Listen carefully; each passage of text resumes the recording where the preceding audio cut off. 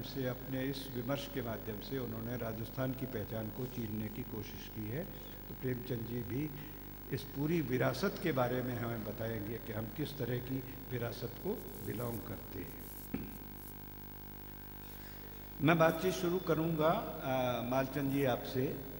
मालचंद जी को ये छूट भी होगी कि जब वो भाषा की बात करें तो अपनी भाषा में मतलब वो, जो वे राजस्थानी में बोलना चाहे तो वे राजस्थानी में बोल सके। क्योंकि लेखक राजस्थानी रहे तो राजस्थानी में बात करे उनसे ही उन्नी लेखन जी जी खसूसियत है जी ख़ासियत है जी विशेषतावा है वे आप तक पुगेला वे बहुत अच्छा कथाकार भी है, राजस्थानी में कहानियाँ लिख, उपन्यास है आप रहा आप अबार विजयदान देथा जी, जो राजस्थानी रहा एक मौजीद लेखक है, वारे साथ जुड़ने काम करे। तो विद्यदान देथा कितो काम करियो है, और वारे काम रो कई महत्व है। उनने अबार बोरुंदा में बैठ विजयदानी के साथ बैठ काम करने जो कोई एक अनुभव है, वो भी अबार मालचीज जी कहने ताजो ताजो है। मैं अभी अपेक्षा रखूँ कि वे उनने भी अपने बीच शेयर करें, अपने बीच में उसको भी साझा करें। कि किस तरह की? क्योंकि जब हम राजस्थान की पहचान के बारे में बात करते हैं तो हम विजयदान देथा को भूल नहीं सकते। किस इतिहास से हम संबंध रखते हैं, उस इतिहास को भी हमें ध्यान में रखना चाहिए, उस विरासत को भी ध्यान में रखना चाहिए। कैसे वो ऐसे महत्वपूर्ण लोगों से विकसित हुई है बनी है, इसको भी आपके सामने उद्घाटित करेंगे। आप बताएँ कि ये जो पहचान की ज़रूरत है, ये हमको क्यों महत्वपूर्ण लगती है और किस तरह से ये बनती है, निर्मित होती है? भारद्वाज मैं जब राजस्थान की निर्वाली निर्वाली पिछाण की बात आप करा तो दोनों तरह की बात मारे मन में आवे कि एक तो स्वाभाविक रूप से एक कल्चरल आइडेंटिटी कोई भी मानव समूह री है। और राजस्थान चूँकि एक विशेष भारत रो, इसो भूभाग रहो है जो सीमावर्ती भी है और सीमा पर जी इन्वेडर्स आया हमारा आक्रमण भी सबसे ज़्यादा पंजाब और राजस्थान में शू आया। तो एक कल्चर कल्चरल रूप रे रूप में आप जब राजस्थान ने देखा और खासकर साहित्य रे संदर्भ से देखा तो सौ पहली मैंने अठेरो वीर काव्य याद आवे। हर सांस्कृतिक समूह एक जी को वैल्यू सिस्टम हुए, एक मूल्य संस्कृति हुए। वह देखा जना मैंने अचानक आ लागे आ बात कि कई वैल्यूज़ लेर मैं हमारी भाषा में, एक लेखक के रूप में। तो मैंने डिंगलरा बहुत सारा सवैया डिंगल रही बहुत सारी रचनावा और दुआ याद आवे, जो आपने बताऊँ कि एक दुआ है, जिको बचपन से लेर आज तक हॉन्ट कर दो रहे मैंने, कि मैं ही कल्चर नहीं रिप्रेजेंट करूँ लैंग्वेज में। वो दुआ है कि मिनखा मरनो हक है ऊबर सी गल्ला सापुर सारा जीवना, थोड़ा ही भल्ला। आ आ, एक कल्चर है जिकी ने मेरे रिप्रेजेंट करनू। यानी भारत में कोई भाषा इसी नहीं, वेला जिके में इन तरह दो मिले कि मरना मनुष्य का अधिकार है। जिको और डिक्लेयर करे कि मनुष्य, मरना मनुष्य का अधिकार है। और उसकी बातें ही शेष रहेगी और श्रेष्ठ पुरुषों के लिए अधिक जीना ठीक नहीं है। इसी तरह डिंगल में अगर जाए तो एक ऐसा गीत मिलता है जिसमें यह सवाल पूछा गया है कि हवा कहती है, जैसे गीता में कहता है कि नैनम छिदंती शस्त्राणी, आत्मा का जो वह के उसको शस्त्र नहीं छेद सकते, हवा सुखा नहीं सकती। हमारे डिंगल का एक कवि कहता है कि हवा कह रही है कि मैंने उसे सुखाया नहीं, पानी कह रहा है मैंने उसे गलाया नहीं, आग कह रही है मैंने उसे जलाया नहीं। तो युद्ध में गया हुआ वो योद्धा नायक, फिर गया का तो डिंगल का कवि जवाब देता है कि वो गयो लोहड़ा लाग। यानी उसकी इतनी चिंदियाँ हुई, इतने टुकड़े हुए कि वो युद्ध में जो तलवारें चल रही थी, उस लोहे के लग लग के खत्म हो गया।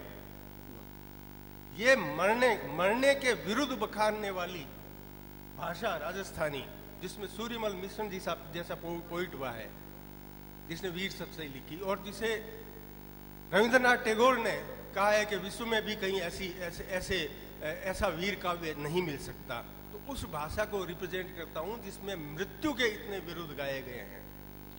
तो उस उस भाषा की अपनी एक कल्चरल आइडेंटिटी है और वो क्यों गाए गए हैं उसके परिदृश्य में हमें जाना पड़ता है। लेकिन क्या आज एक कवि के रूप में मैं इस तरह कर सकता हूँ? तो मुझे उस ट्रांजिट को समझना पड़ेगा, जो निर्वाणी पहचान और समग्र भारतीय पहचान को आपस में जोड़ता है। उस रिश्ते को मुझे समझना पड़ेगा, वरना कई बार निर्वाणी पहचान के अपने कई खतरे भी होते हैं। क्योंकि हम हिंदुस्तान जैसे देश में रह रहे हैं, जिसमें पिछले 25-30 वर्षों में छोटे मोटे अस्मिताओं के, संघर्षों के कई नए नए रूप हमारे सामने आए हैं। छोटे छोटे नायक चुने जा रहे हैं छोटे छोटे जातीय समूह बन रहे हैं और वो अपने नायक हैं, उनकी मूर्तियाँ स्थापित की जा रही है नए नए आइडेंटिटी के हमारे नए नए पक्ष उभर कर आ रहे हैं और कभी कभी ऐसा लगता है कि इससे किसी हमारी एक समग्र एकता की भावना को थोड़ा सा धक्का भी पहुँच सकता है या हम एक समग्र समाज की तरह नहीं, बल्कि छोटे छोटे समूहों में खंडित समाज की तरह होते जा रहे हैं। अगर ऐसा होता है तो थोड़ा सा जोखिम है। लेकिन एट दी सेम टाइम हमेशा ही भारतीय समाज एक बहुलतावादी या प्लूरिस्टिक सोसाइटी रहा है। और इसमें निर्वाली पहचानों का आत्यंतिक महत्व रहा है। इसलिए किसी एक ही पहचान को विलोपित करने का मतलब होता है हमारी उस समग्रता को भी खंडित करना। मैं जब राजस्थानी मा, की मातृभाषा के रूप में उसकी बात करता हूँ उसकी पहचान की आइडेंटिटी की उसकी मान्यता की बात करता हूँ तो मैं अभी प्रेमचंद जी से कह रहा था, मैंने कहा, मित्र, सवाल सिर्फ़ राजस्थानी का नहीं है। दिल्ली में एक सार्वजनिक भाषण में कन्नड़ के वरिष्ठ शीर्ष साहित्यकार यू आर अनंत मूर्ति ने कहा था कि ये राजस्थानी की बात नहीं है, कन्नड़ के सामने भी खतरा है कि वो सिर्फ़ रसोई घर की भाषा बन के रह जाएगी। भारत की अनेक भारतीय भाषाएँ तो सारी भारतीय भाषाएँ जब मैं राजस्थानी की मातृभाषा के रूप में वकालत करता हूँ तो मित्रों, मैं विश्व की हर मातृभाषा की वकालत करता हूँ। मेरी मातृभाषा राजस्थानी है, इसलिए मैं उसे राजस्थानी की वकालत के रूप में पेश करता हूँ, लेकिन उस समय मैं संसार की समस्त मातृभाषाओं की एडवोकेसी कर रहा होता हूँ, क्योंकि खतरा सिर्फ़ राजस्थानी के विलोपित होने का नहीं है, दुनिया की अनेक मातृभाषाओं के होने का है, और हम सब तथ्यों से भी वाकिफ हैं कि हम संयुक्त राष्ट्र संघ की और दूसरी जो संगठन है, उनकी रिपोर्ट्स में जाएँ तो हम जान सकते हैं कि विश्व की कितनी भाषाएँ विलोपित हो गई और कितनी होने जा रही है। तो इस रूप में, और दूसरा लैंग्वेज ही क्यों? भाषा ही क्यों? संस्कृति के मतलब कुछ स्थूल रूप होते हैं, जो एग्जिबिटरी होते हैं, बहुत प्रदर्शनकारी होते हैं। अब आप आप, मैं बताऊँ, पिछले दिनों से एक राजस्थानी समाज में, जो खासकर प्रवासी राजस्थानी है, कलकत्ता और बंबई आदि में रहता है, उसमें एक बड़ा विचित्र प्रचलन हुआ है। विवाह गीत छापे जा रहे हैं। हर छोटा मोटा ग्रुप है जो विवाह गीतों के संकलन निकाल रहा है। एक तो वो जो स्मृति में मौजूद थे, स्त्रियों की स्मृति में, वो अब स्क्रिप्ट में आ रहे हैं और हर समूह अपनी अपनी तरह से उनको जैसे भी डिस्टोर्टेड टेक्स्ट हो उनके, वो छाप रहा है। बहुत सारी विवाह गीतों की किताबें छप रही है।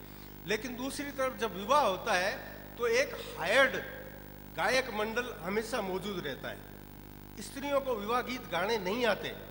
वो गायक मंडल जैसे ही विनायक पूजा शुरू होती है तो उसको इशारा किया जाता है और वो विनायक जी के गीत गाना शुरू करता है और औरतें वो गीत जो है वो किताबों में पढ़ती है। तो ये जो अब अब अब लगता है कि ये तो जैसे राजस्थान की संस्कृति के साथ बड़ा वो हो रहा है कि जा रही है या नहीं मतलब हो रहा है। ऐसे ऐसे एग्जिबिटरी फॉर्म्स बहुत है लिटरेचर के। हम म्यूज़िक को अक्सर देखते हैं कि एक, हमने कुछ अंग्रेज़ बाहर से आए हुए हैं और उनके सामने हमने कुछ एक वादक गायक बुला रखा है और वो गाया जा रहा है, वो अटेंटिव भी नहीं है, लोग और है तो ये ये सारी चीज़ें लगता है कि हम अपनी संस्कृति के लिए, बचाव के लिए कर रहे हैं। लेकिन सही बात तो ये है कि संस्कृति का सार तत्व उस भाषा में मौजूद रहता है। अगर आप उस भाषा को बचा ले जाते हैं तो ये सारी जो चीज़ें हैं जिन्हें स्वाभाविक रूप से समय के साथ चले जाना है, वो चली जाएँगी, लेकिन उस संस्कृति का सार तत्व संवेदना तत्व, मूल्य संस्कृति उस भाषा के मार्फत बची रहेगी। और ये सिर्फ़ राजस्थानी भाषा का सवाल नहीं है। मैं किसी भी मातृभाषा की बात करता हूँ, सारी भारतीय भाषाओं की बात करता हूँ कि उनके सारतत्व, सांस्कृतिक सारतत्व को बचाना है तो उन मातृभाषाओं को बचाने के लिए हर एक भारतीय को काम करना चाहिए। मालचंद जी ने भाषा के माध्यम से अपनी पहचान को चीनने की, उसे रेखांकित करने की कोशिश की। जीवन शैली उसमें उतना ही महत्वपूर्ण स्थान रखती है। आप हम सब जानते हैं कि ये जो देश हमारा है, ये कई तरह की राष्ट्रीयताओं से मिलकर के बना हुआ देश है। हम भारतीय, राष्ट्रीयता को तो उस तरह से आइडेंटिफाई करते ही हैं, लेकिन उसके भीतर बहुत सारी जातीयताएँ, बहुत सारी नेशनलिटीज़ हैं। और ये कहीं उनमें विरोध नहीं पैदा करती, बल्कि उसमें एक बहुरंगी, एक संस्कृति का एक स्वरूप विकसित करती है। जितने हमारे प्रदेश हैं, उन सब प्रदेशों की अपनी अपनी एक प्रादेशिक भाषा होती है। और वो उनको एक एक कल्चर का का नाम देती है। आप तमिल संस्कृति को पहचानते हैं, आप मलयालम की संस्कृति को पहचानते हैं, आप मराठी संस्कृति को पहचानते हैं, आप कश्मीर को देखिए, आप नॉर्थ ईस्ट में जो हमारी स्टेट, सात आठ स्टेट्स हैं, उनकी भी अलग अलग डिस्ट्रिक्ट, मणिपुर है तो वो एक अपनी अलग आइडेंटिटी के साथ हमारे सामने आता है, नागालैंड उसी तरह से अपनी अलग आइडेंटिटी के साथ आता है।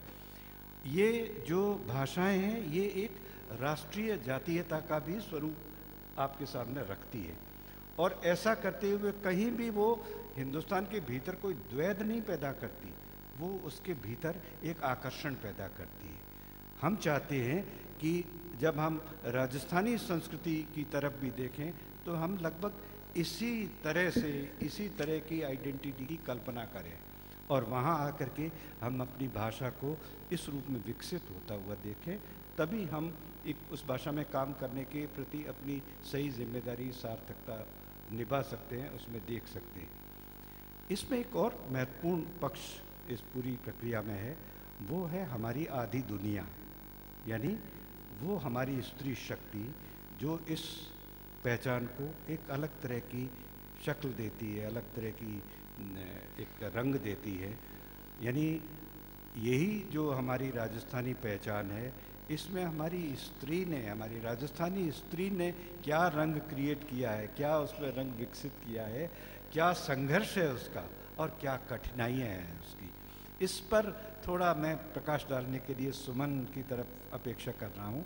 सुमन वैसे स्त्री है, इसलिए स्त्री के लिए बारे में बात नहीं करेगी, बल्कि उसके बारे में उसका अध्ययन है। उसके बारे में वो ज़्यादा बेहतर ढंग से अपने अनुभव को उसमें जोड़ करके बात कर सकती है। वो मीरा की परंपरा से अपने को जोड़ कर बात कर सकती है, जिसने स्त्री जाति की संघर्ष को वो रूप दिया। सुमन जी, आप बताएँ।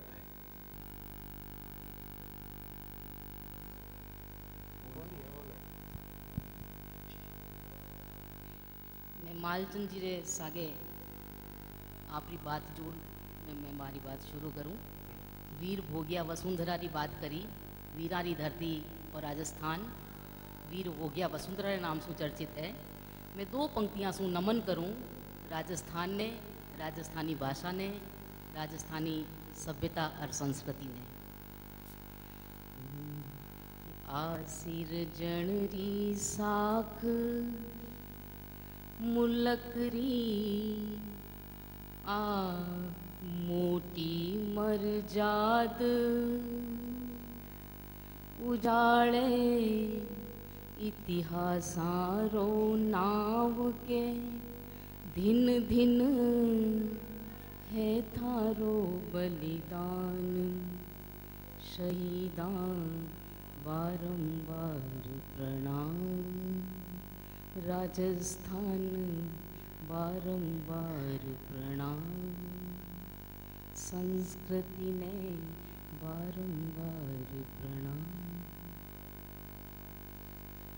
आबा संस्कृति है। उन संस्कृति ने, उन वीरा ने, वीरांगनाओं ने, और उन उजास ने, उजासरी साग भरन वाली उन भाषा ने नमन करता था का। आवीर भोग्य वसुंधरा जी की शीस देय ने माटी रो प्राण हरण शीस दे शीस कट जाए, लेकिन माटी की मर्यादा सुरक्षित रहे। धर्म मर्यादा रे नाव। स्त्रियाँ री रक्षा रे सारू। हमलावरा सु रक्षा रे सारू और धरती री रक्षा रे सातू। पल पल में प्राण निछावर करने रा कई प्रसंग, कई उदाहरण इन राजस्थानी साहित्य में और संस्कृति में मिले। कोई भी संस्कृति वो, कोई भी भाषा हो व पहचान हुए उन प्रदेश री के एक उदाहरण सु मैं आ बात उजागर करूँ कि घर जाता, धर्म बदलता, कि तिरिया तिड़ती नाव ए तीनों दिन मरण रा, राजा वे चाहे रंग रंग वे चाहे राव। कि धर्म अगर ज़बरदस्ती बदलने कोई, की कोई चेष्टा करे, आपका, आपकी धरती आपके हाथ से जाती हो और स्त्रियों की सुरक्षा का प्रश्न हो तो किस तरह से राजस्थान का व्यक्ति अपना शीश देकर भी उसकी रक्षा करने का भाव हर पल अपने हृदय के अंदर रखता है? ऐसे एड़ा कई कई उदाहरण राजस्थानी साहित्य माए मिले। मतलब माँ तो पालने रमाए माए झुलावता ही वीरता रो संदेश फूक दे।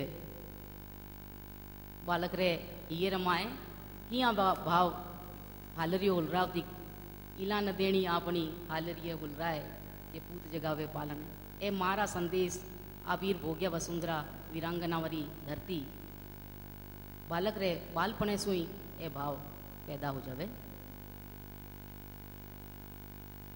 तीज त्योहार आ धरती के साल रो कोई भी दिन एड़ो अछूतो नहीं कि अठे उत्सव रो उछाव नहीं वे हर दिन त्योहार। आप होली, दिवाली, दशहरा में छोड़ दो तो देश रे कोने कोने रे माए मनाया जावे। लेकिन राजस्थान रा कई खास एड़ा पर्व है जिका राजस्थानी संस्कृति री हूस भरे और खास तौर से महिलाओं रे वास्ते। जिया की गणगौर रो एक पर्व, बिना की तिथ विदरे वो सोलह दिन तक निर्बाध रूप से मनाया जावे। ए सोलह दिन सुहागण और विधवा, दो ही तरह की महिलावां इन गणगौर पर्व ने बहुत ही उत्साह उमंग और रसरंग सु मनावे। आप रे पति की सुरक्षा सारू आप रे पुत्र री आजीवन सुरक्षा रे सारू, और बाकी रंग रस्तो इन रे माए समाहित है ही।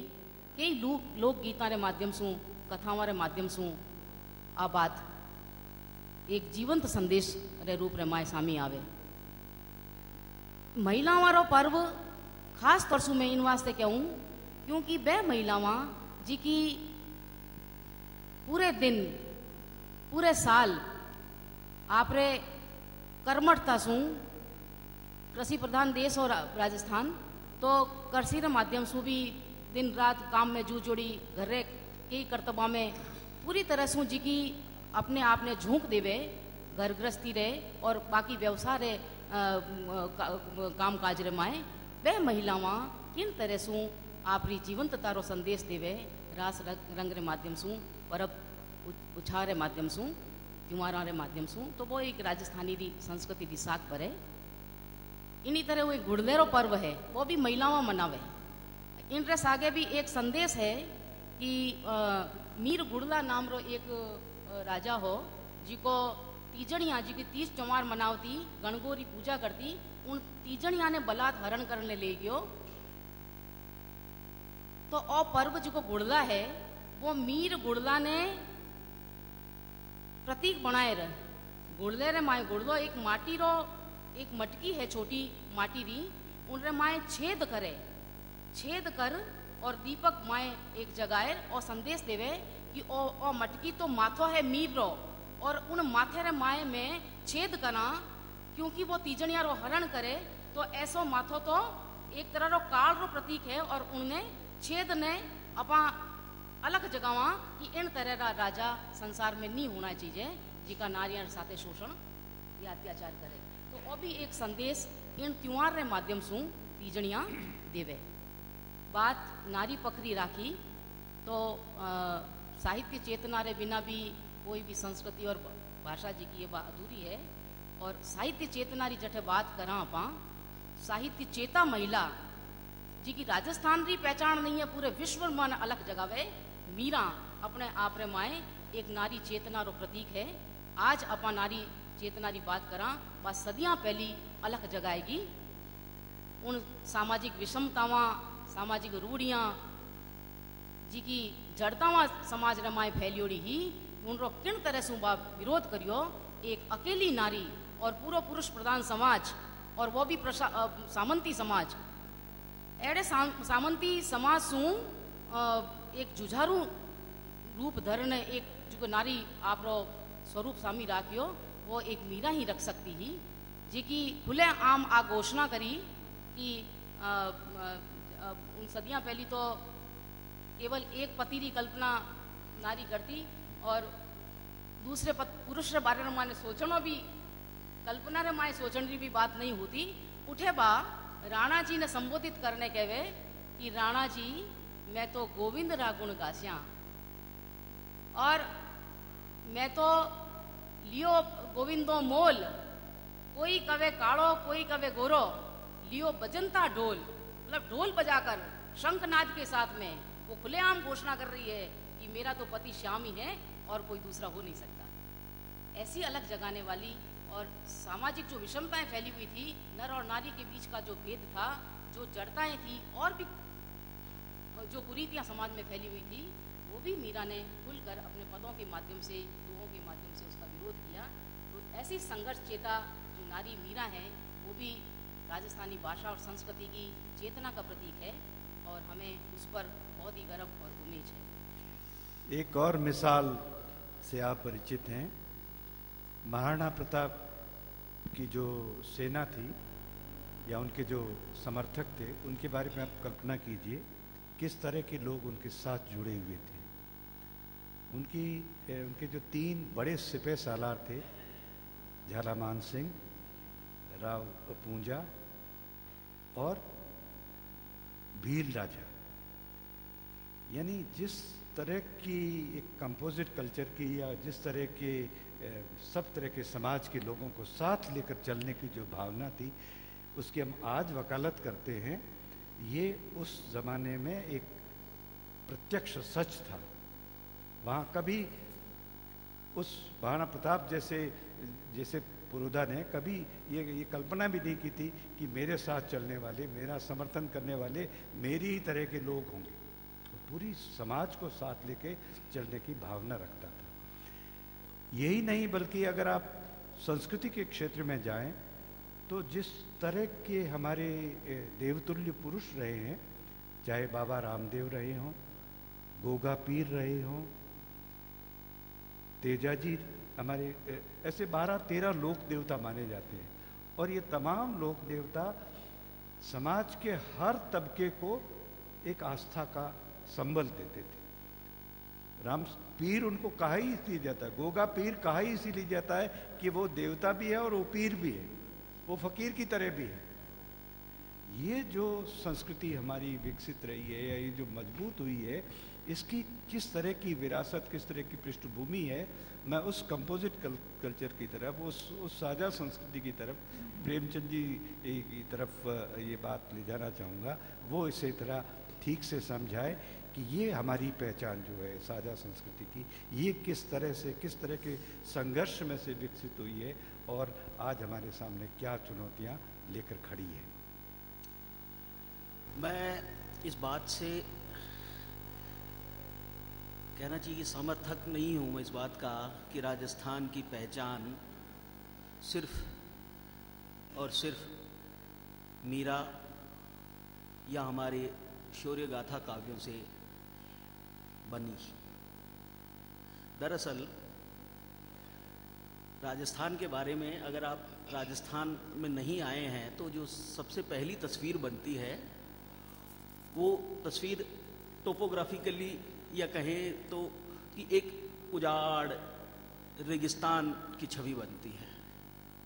बहुत पहले की बात है कि मेरे मित्र पटना से पहली बार जयपुर आए राजस्थान आए तो उन्होंने यहाँ इतना हरियाला रा, राजस्थान देखा कि उन्हें अपनी धारणा बदलनी पड़ी। और उन्होंने कहा कि मैं तो इसको बिल्कुल उजाड़ और ऐसी जगह समझ के आया था कि जहाँ पीने को भी पानी बहुत मुश्किल से मिलेगा।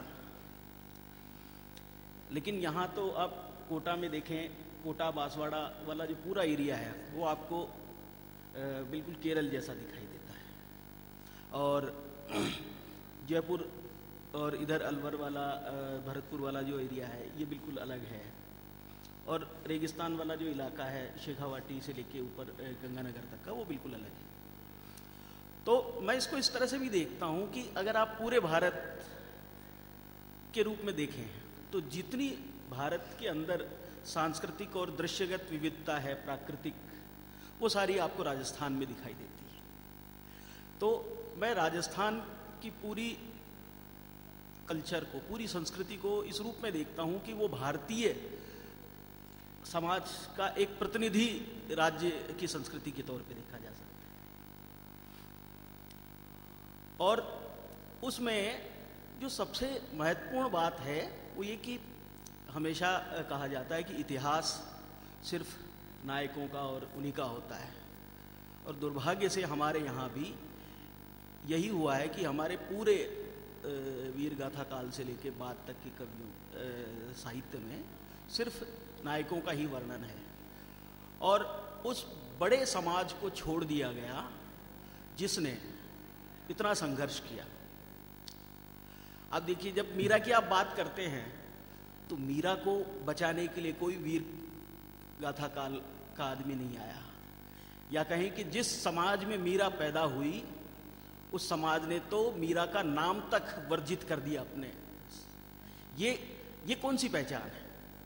यानी मीरा को बचाने के लिए कोई समुदाय नहीं आया। मीरा को बचाया उन लोगों ने जो समाज के सबसे निचले तबके पर थे। इसीलिए मीरा के, की कविता के आपको जितने पाठ मिलते हैं, उसमें अंतर इसीलिए है कि वो जो सबसे दबे कुचले समाज थे, उन समाजों ने उसकी कविता को अपने गीतों में या कहें कि अपनी परंपरा में उसको रोज़ाना पाठ करते हुए बचाया। मीरा को बचाने के लिए कोई तलवार लेके नहीं आया। तो आप कौन से वीर गाथा काल की बात करेंगे? और अब देखिए कि वही समुदाय हैं जिन्होंने यहाँ की तमाम सामंती व्यवस्था को सहन भी किया और उसके लिए लड़े भी। बावजूद इसके उन्होंने अपने सामाजिक समरसता को कभी टुकड़े नहीं होने दिया, जबकि जितना विविधतापूर्ण समाज हमारे यहाँ है, चाहे वो जाति के आधार पर देखें या पेशों के आधार पर देखें उसे, उसमें टूटने की संभावनाएँ सबसे अधिक थी। क्योंकि आप दूसरे राज्यों में देखते हैं तो आप देखिए कि पंजाब में क्या हुआ उन्नीस सौ सैंतालीस में। आज वहाँ एक पूरी एक जाति या एक कुछ कुछ एक समुदाय बचे हुए हैं। लेकिन राजस्थान की सामाजिक सामंजस्य की जो परंपरा थी, उसने इतिहास के सबसे बड़े बंटवारे को भी सहन किया और यह आश्चर्य की बात नहीं है कि पूरे देश में आज़ादी के समय दंगे हुए, लेकिन राजस्थान उससे अछूता रहा। ये उस जन समुदाय की भावनाओं के कारण संभव हुआ, जिन्होंने हमेशा एक दूसरे को साथ जोड़ के रखा है। मैं भी माल जी से बात कर रहा था कि हमारे यहाँ तो जो संबंध हैं, वो भले ही जाति के आधार पर बहुत बटे हुए हैं अंतर जाति विवाह और ये सब तो बहुत बाद की चीज़ें हैं, लेकिन जो सामाजिक ताना बाना था गाँव का या मोहल्लों का, उसके अंदर जो हमारी ज़रूरतें पूरी करने वाले लोग थे, समुदाय एक दूसरे की तो उनको सबको एक आदर सूचक संबोधन से संबोधित किया जाता था। आप जो काम करने वाली या सफ़ाई करने वाली महिला भी आती थी, उसे चाची, ताई, मौसी, बहन, दीदी, ये ऐसे संबोधन हमारे यहाँ चलते थे। और ये मुझे नहीं लगता कि राजस्थान से बाहर कहीं आपको देखने को मिलेगा। और इसी सामाजिक ताने बाने ने आज तक इस प्रदेश को उस अतिवाद से बचा रखा है, जिसकी राह पर आप देखेंगे तो वो खालिस्तान की मांग होती है या दूसरे एक आइडेंटिटी, अलग आइडेंटिटी की जब बात करेंगे तो आप हमेशा एक खतरा इसमें निहित रहता है, जो माल जी ने भी जिसकी तरफ़ इशारा किया, कि जैसे ही आप एक यूनिक आइडेंटिटी की बात करते हैं तो वो एक ऐसे अतिवाद में जाके फंस जाती है कि जहाँ वो राष्ट्र से अलग होने की बात करती है। लेकिन राजस्थान की जो पूरी सामाजिक संरचना है उसने इस चीज़ को हमेशा बचा के रखा है। भारद्वाज जी यहाँ मैं एक एक सप्लीमेंट करना चाहूँगा। आपने बहुत इंटरेस्टिंग बात बताई कि सारे अध्ययन अक्सर नकारात्मक होते हैं कि लेकिन बीकानेर में एक बहुत इंटरेस्टिंग अध्ययन इस बारे में हुआ कि भाई सांप्रदायिक हिंसा क्यों नहीं हुई? तब होने पे तो क्यों हुई? इसके तो अध्ययन होते ही हैं। लेकिन बीकानेर में पुरुषोत्तम अग्रवाल अग्रवाल आए हुए हैं। एक ऑक्सफेम नाम की संस्था है। उस ऑक्सफेम ने बाकायदा एक प्रोजेक्ट के माध्यम से ये बीकानेर के एक आदमी को शोधकर्ता को नियुक्त करके, राजेंद्र जोशी को इस बात की स्टडी करवाई कि इस समाज में ऐसा क्या है कि यहाँ पर सांप्रदायिक दंगा इस शहर की स्थापना के 600 साल बाद भी नहीं हुआ। जबकि ऐसी राष्ट्रीय चुनौतियाँ कई बार पैदा हुई, चाहे वो विभाजन हो, चाहे बाबरी मस्जिद हो, कभी भी सांप्रदायिक दंगे का, जहाँ आबादी इस तरह से है तो उसका जो परिणाम निकल के आया, वो भी बहुत उपयोगी है। और वो हमारी जो कंपोजिट कल्चर है, या जो सामाजिक संस्कृति है जो खासकर दोनों धर्मों के बीच में जो सामाजिक रिश्ता है, उसको रिप्रेजेंट करती है। वो ये है कि बीकानेर में कोई भी ऐसा इलाका नहीं है, जिसमें जातीय समूहों को या धार्मिक समूहों को अलग अलग करके बसाया हो कि ये उनका एक हिस्सा है, ये उनका हिस्सा है। बल्कि वो इस तरह से स्केटर्ड है, यानी बीस घर अगर हिंदुओं के हैं तो उसमें पाँच घर कंफर्टेबली मुसलमानों के हो सकते हैं। और वो दोनों उनमें दैनंदिन व्यापार का इतना साझा होता है कि उस स्टडी से ये उभर कर आया कि इसी वजह से यहाँ सांप्रदायिक दंगा नहीं हो पाया, क्योंकि रोज़मर्रा की ज़िंदगी की समरसता उस एक दिन की थ्रेट का मुकाबला करने में सक्षम होती थी और लोग बहुत जल्दी हस्तक्षेप करके उस सांप्रदायिक विद्वेष को उसी समय दबा सकते थे या उसको एक तरह से सबसाइड कर सकते थे। तो ये बात आपने जो कही ना, इस पर मुझे याद आता है कि करीबन 20-25 साल पहले की बात है। जब मैंने लिखना शुरू किया था तो मैं इसी प्रश्न पर मैंने कई लोगों से बात की थी। कई राजनेताओं से भी बात की थी और कुछ लेखकों से और खासतौर से बुज़ुर्गों से कि जयपुर में दंगे क्यों नहीं होते?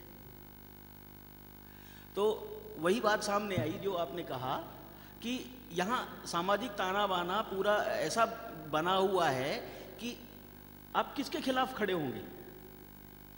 लेकिन उसको पिछले करीबन 25-30 सालों से ये देखने में आ रहा है कि लगातार चाहे वो दोनों धर्मों के ही अतिवाद में हुआ है कि उस ताने बाने को तोड़ा जा रहा है और जो आपने बीकानेर की बात कही ना, वो अब आप जयपुर में नहीं देखेंगे। जयपुर में आप अगर इसकी संरचना को देखेंगे तो एक मोहल्ला है जो पूरी तरह मुस्लिम हो गया जबकि पहले नहीं था। अब ये हो गया कि वहाँ से उठ के लोग जा रहे हैं। या एक हिंदू बहुल इलाके के अंदर जो पहले मुस्लिम बहुत आसानी से रहते थे, अब वो असुरक्षा बोध के कारण दूसरी जगह चले जा रहे हैं। तो ये संकट भी हमारी सांप्रदायिक राजनीति या कहें कि मानसिकता ने लगातार बढ़ाया है और मुझे लगता है कि ये बहुत बड़ा खतरा है आने वाले समय में और इससे लड़ने का तरीका अभी तक तो कुछ निकल के नहीं आया। चेतना जो विकसित होती है उसका एक धीरे धीरे एक लोक स्वरूप बनता है।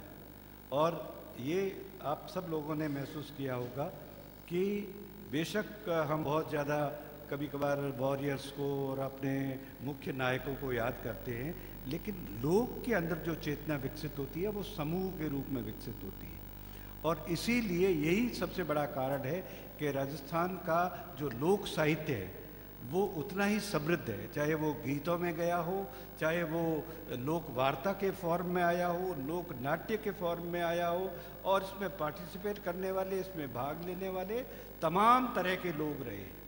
और चेतना जो विकसित हुई है, एक राजस्थानी के रूप में, वो समूह के रूप में विकसित हुई। है एक, उसी ने आगे जाकर के आज़ादी की लड़ाई में वो जो आदिवासी हैं डूंगरपुर बांसवाड़े के, उनको, उनमें ये चेतना पैदा की कि वे आगे आए, वे इस इस मशाल को थामे और उन्होंने अपनी आइडेंटिटी सिद्ध की।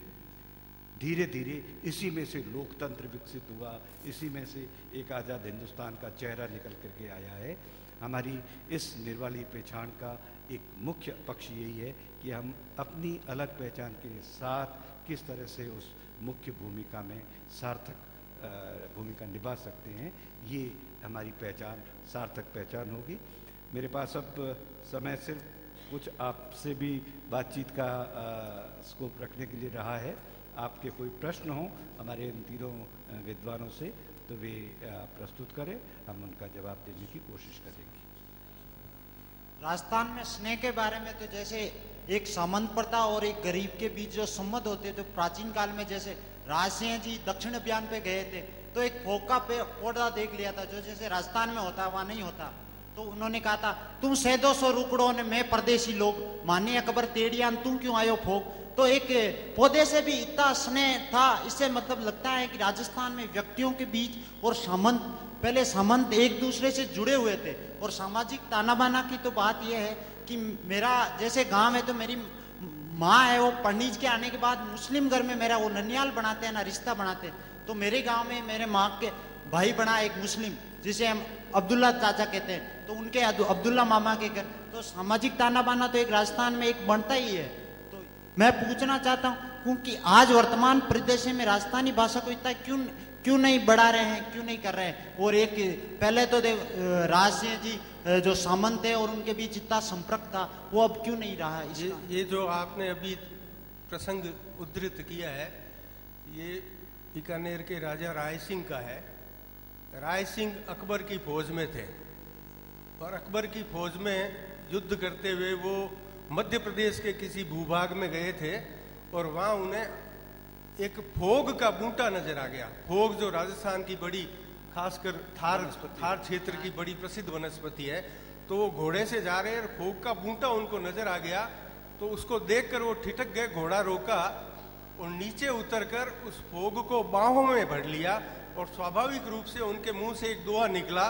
उन्होंने कहा कि थुए देसी रूखड़ो ए परदेसी लोग माने अकबर तेवड़िया तू किता आयो भोग?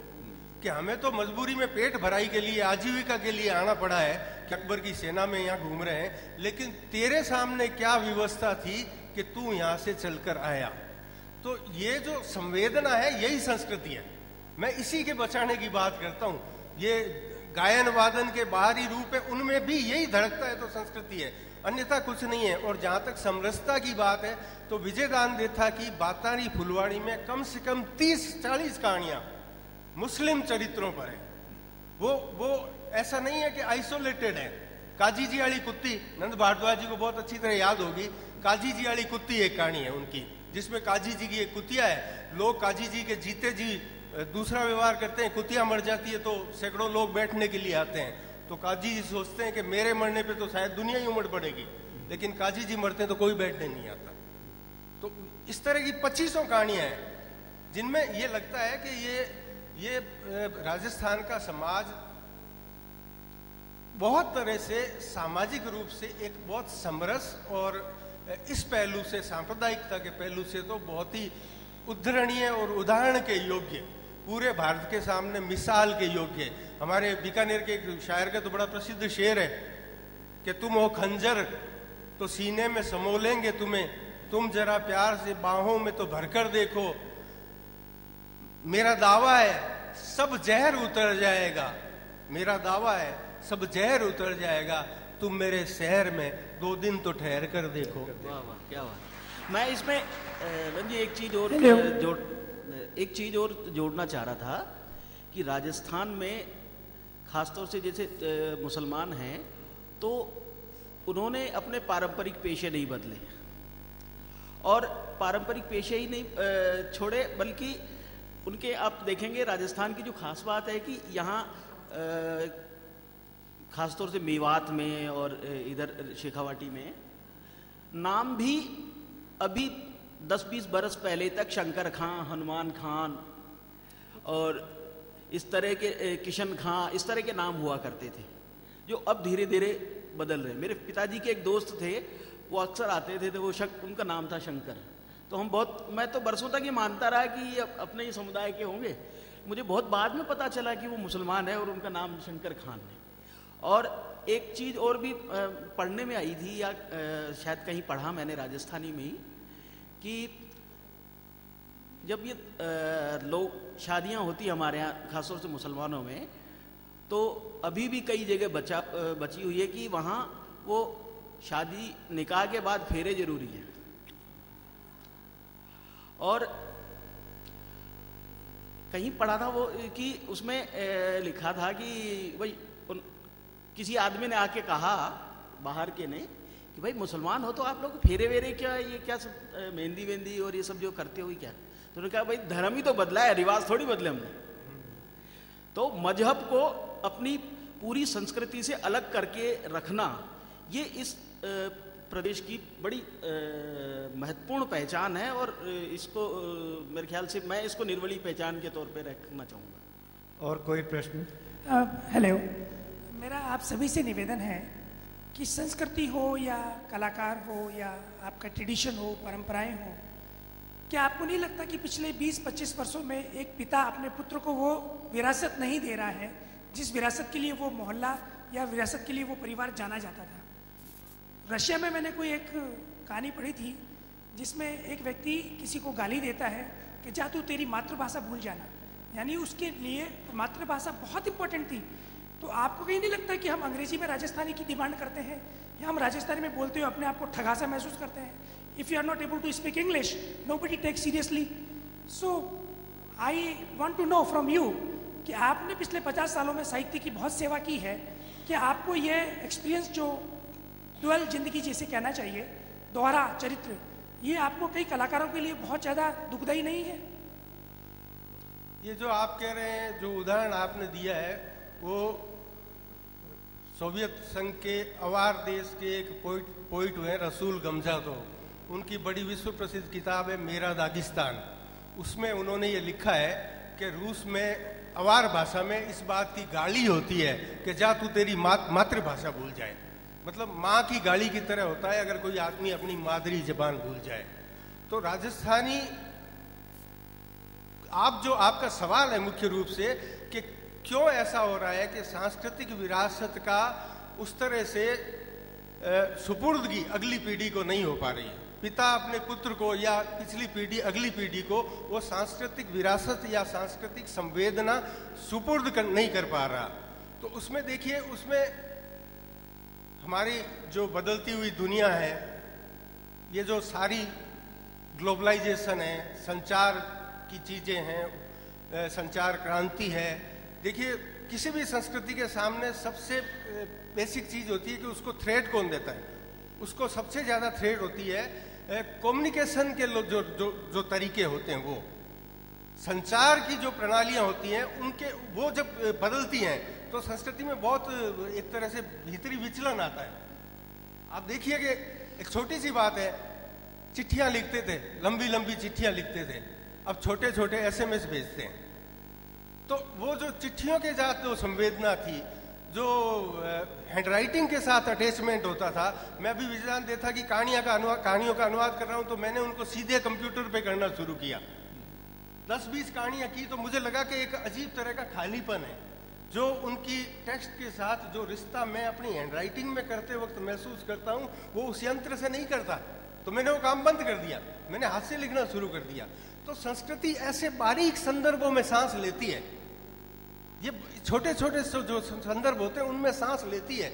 और ये ये दबाव इतने हैं कि उस पिता को पता नहीं चल रहा कि उससे क्या अपराध हो रहा है कि कैसे वो अपने बच्चे को इस सांस्कृतिक संवेदन में अनुप्राणित नहीं कर पा रहा, क्योंकि उसके पास अवकाश नहीं है। उसके सामने रोजी रोटी के मरहले हैं, दूसरे दबाव हैं, दूसरी चीज़ें हैं। ये बे बेतरतीब दुनिया है। इन सब के बीच में ये घाटे का सौदा हो रहा है। आप ठीक कह रहे हैं कि उस तरह से संस्कृति की संवेदना का रूपांतरण अगली पीढ़ियों में नहीं हो पा रहा और नहीं हो पा रहा। इसी चिंता पर शायद हम सब यहाँ बैठ के बात। कर रहे हैं। और कोई प्रश्न बताएँ? हेलो नहीं एक बात इसमें और जोड़ना चाहूँगी। इसमें आप बैठिए। बताइए। मतलब मायड़ भाषा का हस्तांतरण विरासत के रूप में अगली पीढ़ी को क्यों नहीं हो पा रहा है? क्या ऐसे कारण हो गए हैं कि माँ की भाषा तो माँ के गर्भ से ही निकल कर बच्चे के संकेत के साथ में उसके साथ जाती है और पालन पोषण के साथ में विरासत के रूप में आगे बढ़नी चाहिए। ये ये होना है। गुजरात में गुजराती पंजाब में पंजाबी या भिन्न भिन्न प्रांतों में भिन्न भिन्न भाषाएँ मायड़ भाषाएँ अच्छे स्तर पर बोली जा रही है समझी जा रही है और विरासत के रूप में उसका हस्तांतरण भी अच्छे रूप में हो रहा है। लेकिन राजस्थान प्रदेश में राजस्थानी भाषा का ये एक मान्यता के प्रश्न के साथ में इसके बहुत देखिए इसमें खाली भावुकता से बात नहीं चलेगी इसके बहुत वस्तुगत कारण है। ठोस जो पंजाब में नहीं है जो गुजरात में नहीं है। वस्तुगत कारण ये है कि पंजाब पंजाबी की प्राथमिक शिक्षा की भाषा रही शिक्षा की भाषा रही गुजरात में गुजराती शिक्षा की भाषा रही। दुर्भाग्यवश राजस्थान में राजस्थानी कभी भी प्राथमिक शिक्षा की भाषा नहीं रही। तो इसलिए एक पूरी की पूरी पीढ़ी ऐसी हो गई जिसमें एक सांस्कृतिक खाई है। नंद भारद्वाज जी और मैं राजस्थानी में लिखते हैं अपनी चॉइस से लिखते हैं अपनी संवेदना से अनुप्राणित होकर लिखते हैं अपनी ज़रूरत से लिखते हैं। हमारी रोजी रोटी से जुड़ा हुआ मत, मसला नहीं है। अब जाके विश्वविद्यालयों में राजस्थानी कुछ पढ़ाई जाने लग, लगी है उच्च कक्षाओं में। उच्च कक्षाओं में पढ़ाने से भाषाएँ नहीं बचती उनको प्राथमिक शिक्षा में ही सही बिल्कुल। ले जाने से वो बचेगी। और हमारे देश के लोगों ने इस बात को समझा है। जो शिक्षा, अनिवार्य शिक्षा का कानून आया है, उसमें आप देखिए कि प्रोविज़न किया गया है कि प्राथमिक शिक्षा मातृभाषा में देनी अनिवार्य है या देनी प्राथमिक रूप से उसको माना गया है कि प्राथमिक शिक्षा राजस्थानी भाषा में दी जाएगी। और इस बात का हम सबको स्वागत करना चाहिए कि हमारे एकमेडिशियन ने ये समझा है। और समझ के उसको शिक्षा, अनिवार्य शिक्षा के कानून में उस बात को जगह दी है कि प्राथमिक शिक्षा मातृभाषा में दी जानी चाहिए, चाहे वो मातृभाषा राजस्थानी हो, कन्नड़ हो, तेलुगु हो, पंजाबी हो, गुजराती हो, कोई भी मातृभाषा हो। सवाल मातृभाषा का है, इसलिए राजस्थानी का है। राजस्थानी का है, इसलिए भाषा का नहीं है। नहीं, इसमें एक चीज़ और भी है, जो पवार जी ने पूछा था सवाल। मुझे लगता है कि उस सवाल का जवाब ये हो सकता है कि जब आप बच्चे के पैदा होने के बाद जब वो स्कूल जाने की उम्र में आता है, तभी आप उसका भविष्य पहले से तय कर लेते हैं कि इसको कौन से कॉलेज में भेजना है, कि कोटा में भेज दिया जाए। पांचवी क्लास में सोचने लग जाते हैं कि आठवीं के बाद इसको कोटा भेज दिया जाए ताकि ये इंजीनियर, डॉक्टर या कुछ बन जाए। तो आप जब बच्चे के पैदा होने से ही आप उसके बारे में सोच, इस तरह से सोचना शुरू कर देते हैं तो आप सांस्कृतिक विरासत कैसे देंगे उसको? प्रेमचंद जी, ये इसमें थोड़ा सा सिंप्लीफिकेशन ये हो रहा है कि ये जो महत्वाकांक्षा का, ये जो माता पिता की महत्वाकांक्षा का मामला है, ये बहुत हमारे बहुत एलिट और शिक्षित वर्ग तक ही है। उन बच्चों की बात कीजिए जो गाँव देहात में है, जो जिन्हें मैं बोरूंदा में देखता हूँ, जो जो सरकारी स्कूलों में जाने, जाते हैं, वो उन बच्चों के माता पिता के आँख में कोई सपना ही नहीं है कि मेरा बच्चा डॉक्टर बने या कुछ बने। उन भूखे, प्यासे माँ बापों के बच्चों के बारे में बात कीजिए, संस्कृति को बचाएँगे तो वो बचाएँगे। नंद जी ने बहुत अच्छी बात एक संस्कृति को लेकर कही थी। प्रक्रिया जिस तरह से चल रही है वो हम सबको बटोर करके एक मेन स्ट्रीम कोई पता नहीं उन्होंने उन्होंने खुद ही कल्पना की है कि ये मुख्य धारा है इसमें आप सब आ जाइए और अपनी संस्कृति इसमें मर्ज कर दीजिए।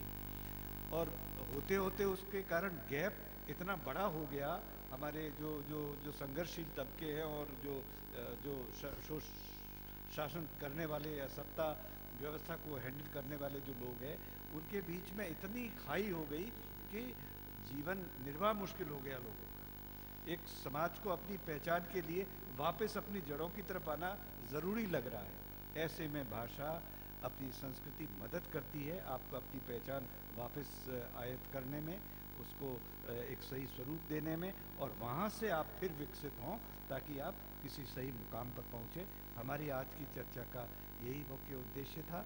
मालचंद जी को सुबन बिस्सा जी को और प्रेमचंद जी को बहुत बहुत धन्यवाद कि उन्होंने अपनी अच्छी भागीदारी से ये चर्चा आपके सामने प्रस्तुत की और आप सब सुधीजन इसके अच्छे श्रोता दर्शक अ, साबित हुए अच्छे प्रश्न भी आए आगे चर्चाएँ और होंगी तब तक के लिए शुभकामनाएँ